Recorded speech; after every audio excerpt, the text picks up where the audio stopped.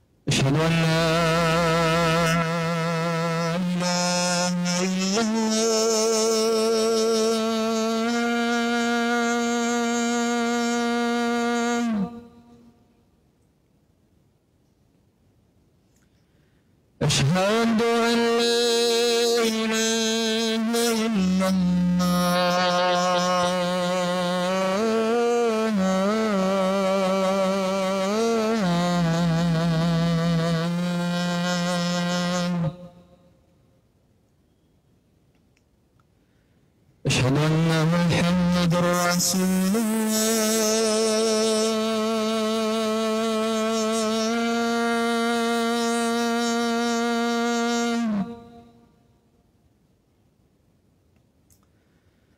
أشهد أن محمد رسول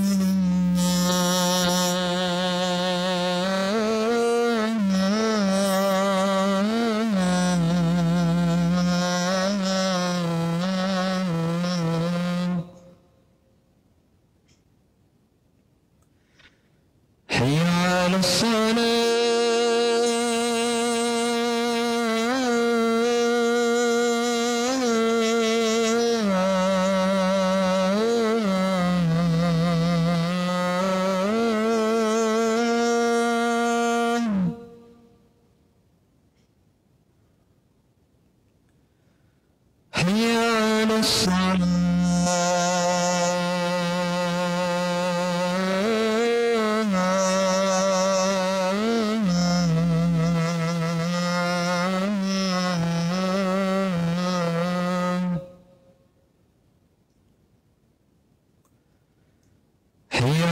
infinite.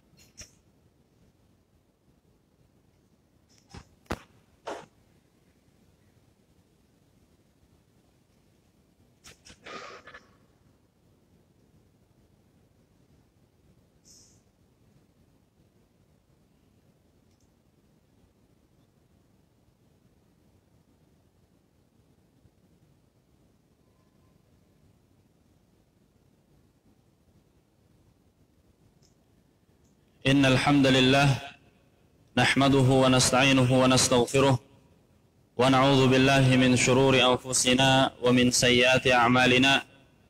من يهده الله فلا مضل له ومن يضلل فلا هادي له. أشهد أن لا إله إلا الله وأشهد أن محمدا عبده ورسوله.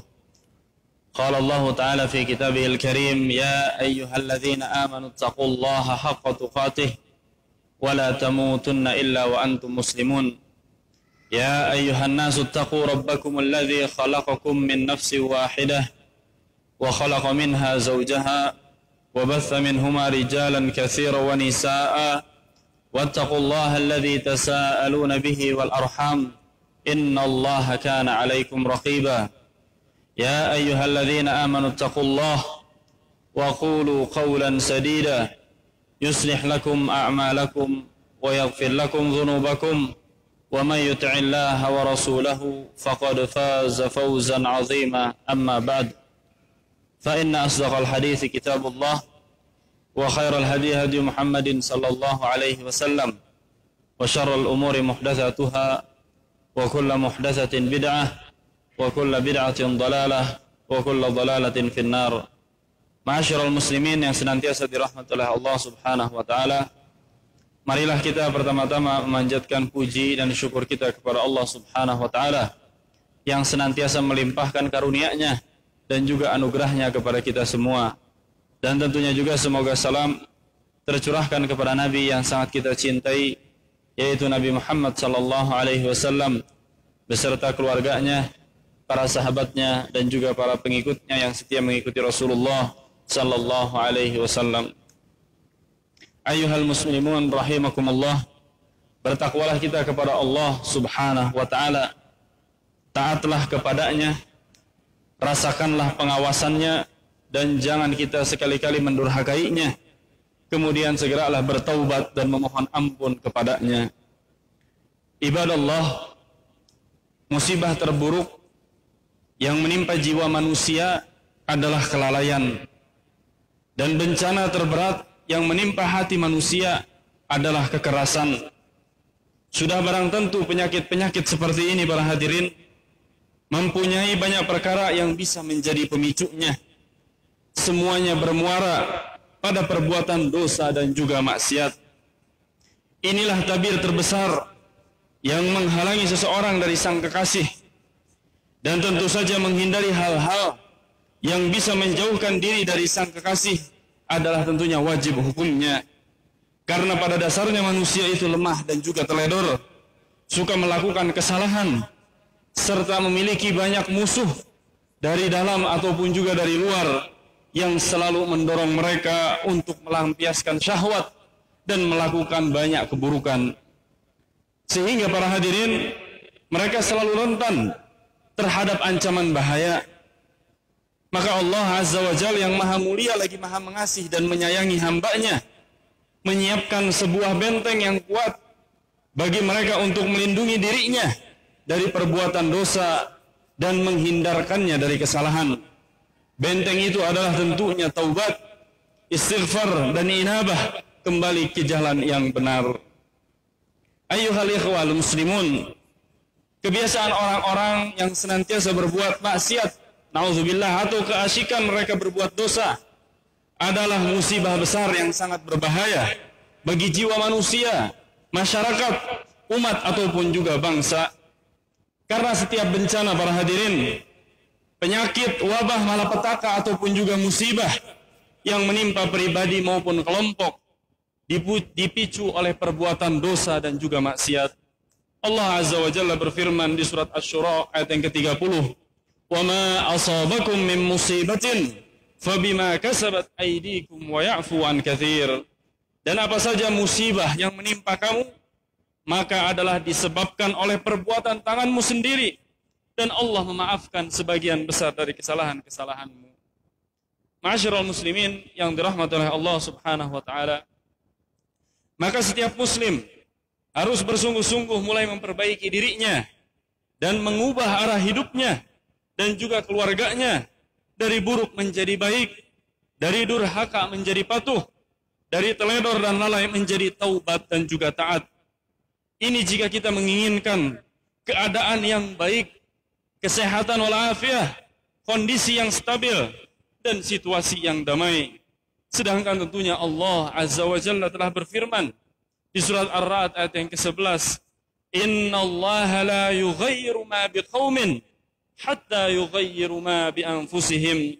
Sesungguhnya Allah tidak akan merubah keadaan suatu kaum sehingga mereka merubah keadaan yang ada pada diri mereka sendiri.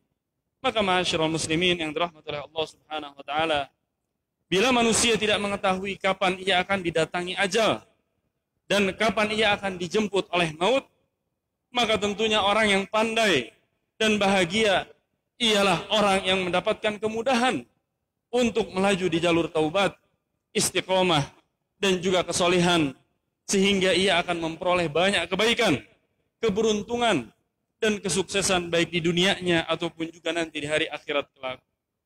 Saudara-saudara seiman dan seakidah, sesungguhnya kebutuhan manusia terhadap taubat merupakan kebutuhan yang sangat mendesak dalam semua periode hidupnya yang dia lewati. Karena taubat adalah jalan keselamatan dan sarana untuk mendapatkan keberuntungan. Sebab para hadirin, Allah Azza wa Jal mengaitkan keberuntungan dengan adanya taubat. Allah Azza wa Jal memerintahkan kepada hamba-hambanya untuk bertaubat seraya menjelaskan hasil akibatnya. Allah Subhanahu wa taala berfirman di surat Nur ayat yang ke-31, "Wa tubu ilallahi jami'an ayyuhal mu'minun la'allakum tuflihun." Dan bertaubatlah kepada Allah hai orang-orang yang beriman supaya kamu beruntung. Para hadirin yang dirahmati oleh Allah Subhanahu wa taala. Allah Azza wa Jalla memanggil kita semua dengan panggilan iman agar kita para hadirin kembali ke pangkuan taubat dan bernaung di bawah pohon taat kepada Allah. Jauh juga dari kesia-siaan dan keburukan dosa dan juga maksiat. Dan juga para hadirin supaya kesalahan-kesalahan tentunya akan dihapus dan cita-cita kita yang paling tinggi adalah masuk ke dalam surga. Allah kembali berfirman di surat At-Tahrim ayat yang ke-8, "Ya ayyuhalladzina amanu tubu ilallahi taubatan nasuha." Asa rabbukum ayyukaffir ankum sayyiatikum wa yudkhilakum jannatin tajri min tahtihal anharu yang artinya para hadirin hai orang-orang yang beriman bertaubatlah kepada Allah dengan taubat yang sebenar-benarnya yaitu taubat nasuha mudah-mudahan Rob kamu akan menutupi kesalahan-kesalahanmu dan memasukkan kamu ke dalam surga yang mengalir di bawahnya sungai-sungai. Sebagaimana kita perhatikan para hadirin, sesungguhnya Allah Azza wa Jal mensyaratkan taubat yang bisa mengantarkan seseorang ke dalam surga adalah dengan taubatun nasuha, yaitu taubat yang sebenar-benarnya. Maka marilah kita semak sedikit penjelasan dari para ulama tentang pengertian taubat nasuha tersebut.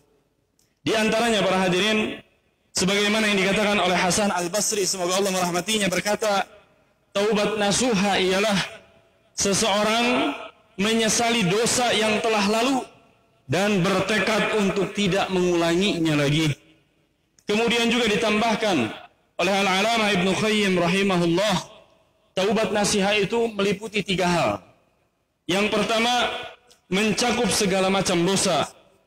Yang kedua bertekad dan bersungguh-sungguh untuk meninggalkannya. Dan yang terakhir yang ketiga, membersihkannya dari hal-hal yang bisa merusak kemurniannya. Maka dengan demikian para hadirin, kita memiliki gambaran yang sangat jelas tentang syarat-syarat taubat. Ternyata taubat itu memiliki nilai yang sangat agung. Dan taubat para hadirin bukan sekedar ucapan kosong atau kata-kata biasa yang keluar dari mulut tanpa pemahaman dan pembuktian makna yang dikandungnya. Taubat para hadirin harus disertai dengan melengkapi syarat-syaratnya dan meniadakan hal-hal yang bisa menghalangi keabsahannya. Maka ikhwatal Islam, Allah Azza wa Jal telah bermurah hati kepada kita semua, kepada hamba-hambanya dengan membuka pintu taubat yang seluas-luasnya. Seberat apa pun kesalahannya dan sebesar apa pun kekeliruannya para hadirin, kendati mereka telah melakukan perbuatan-perbuatan dosa, perbuatan-perbuatan keji, sesungguhnya tidak ada yang lebih besar daripada kufur kepada Allah. Namun demikian Allah Tuhan yang Maha Pengampun lagi Maha menerima taubat. Allah menegaskan hal ini di dalam firman-Nya di surat Al-Anfal ayat yang ke-38. Qul lil ladzina kafaru in yantahu yughfar lahum ma qad salaf. Katakanlah kepada orang-orang kafir itu, jika mereka berhenti dari kekafirannya, niscaya Allah akan mengampuni mereka tentang dosa-dosa mereka yang sudah lalu. Maka betapa luas para hadirin kesabaran Allah terhadap hamba-hambanya dan betapa besar anugerah dan karunia-Nya. Tentunya hal ini didukung juga oleh firman Allah Azza wa Jalla di surat Toha ayat yang ke-82. Wa inni laghaffarun liman tab wa amana wa amila saliha thumma ihtada. Dan sesungguhnya aku maha pengampun bagi orang yang bertaubat bagi orang yang beriman bagi orang yang beramal saleh kemudian tetap di jalan yang benar. Masyarul muslimin yang senantiasa dirahmati oleh Allah Subhanahu wa taala. Sungguh sangat enak kita ya para hadirin atau orang-orang yang beriman. Sungguh senang juga kita para hadirin orang-orang yang mau bertaubat. Kita berbuat baik lalu kita diberi ganjaran. Kita berbuat buruk kemudian kita memohon ampun lalu Allah Azza wa Jalla mengampuni kita. Kita berbuat dosa para hadirin kemudian kita kembali bertaubat lalu Allah Azza wa Jalla menerima taubat kita. Dan Allah selalu membuka pintunya lebar-lebar untuk kita semua sepanjang siang dan juga malam. Sebagaimana dalam sebuah hadis sahih disebutkan bahwasanya Allah Azza wa Jalla membuka tangannya di malam hari agar orang yang berbuat dosa di siangnya yaitu mampu bertaubat kepada Allah Subhanahu wa taala. Dan Allah kembali membuka tangannya di di malam hari para hadirin yaitu bagi orang-orang yang meminta kepada Allah dan Allah Azza wa Jalla kabulkan. Sebagaimana Allah Subhanahu wa taala katakan adakah orang yang memohon ampun maka aku akan mengampuninya. Adakah orang yang bertaubat maka aku akan menerima taubatnya. Maka wahai umat Islam sebab besar apa pun dosa kita para hadirin Sesungguhnya ampunan Allah itu jauhlah lebih besar. Maka barang siapa yang menyangka bahwa ampunan dan rahmat Allah tidak akan mencukupi dosa-dosanya, berarti ia telah berprasangka buruk kepada Allah Subhanahu wa taala. Yang sebagaimana kita telah mengetahui yang dikisahkan bahwa seorang laki-laki Bani Israel yaitu membunuh 99 orang para hadirin kemudian menggenapkannya menjadi 100 orang setelah membunuh seorang ahli ibadah. Namun tatkala ia bertaubat dengan sungguh-sungguh, maka Allah menerima taubatnya dan menyelimutinya dengan rahmatnya. Dan kisah ini tentunya telah dicatat di dalam Sahih Al-Bukhari dan Muslim dari hadis riwayat Abu Sa'id semoga Allah meridainya. Maka wahai orang-orang yang suka meninggalkan apa yang diwajibkan oleh Allah, di antaranya seperti salat, zakat, dan bersilaturahim, Wahai juga orang-orang yang suka melakukan apa yang diharamkan oleh Allah seperti syirik, meninggalkan salat, menumpahkan darah, merusak kehormatan, meminum minuman keras, memakai narkoba, tak menjaga tali silaturahmi, durhaka kepada orang tua, segeralah kalian bertaubat sebelum terkubur di dalam tanah dan terseret malapetaka naudzubillah. Karena pada saat itu para hadirin tidak ada sesuatu pun yang bermanfaat baginya selain taubat yang nasuha yang sungguh-sungguh. Ya Allah, anugerahkanlah kami taubat nasuha, lindungilah kami dari kelalaian dan peliharalah kami dari perbuatan dosa dan maksiat.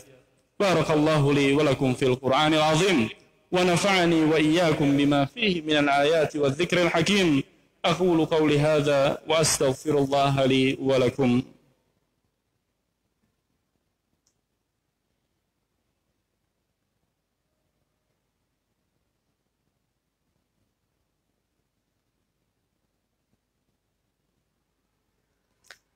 الحمد لله على فضله وإحسانه وأشكره على توفيقه وامتنانه وأشهد أن لا إله إلا الله وحده لا شريك له تعظيما لشأنه وأشهد أن محمدا عبده ورسوله أما بعد معاشر المسلمين yang senantiasa dirahmati oleh Allah Subhanahu wa taala. Bertakwalah kita kepada Allah Azza wa Jal. Mohon ampunlah kepadanya. Bertaubatlah kepadanya dan hindarilah dosa-dosa kecil dan karena para hadirin dosa-dosa kecil dapat mengantarkan pelakunya ke dalam dosa-dosa yang besar. Dan jangan juga kita sekali-kali meremehkan dosa-dosa kecil. Karena mereka akan terus bertumpuk sampai berhasil membinasakan pelakunya. Nauzubillah.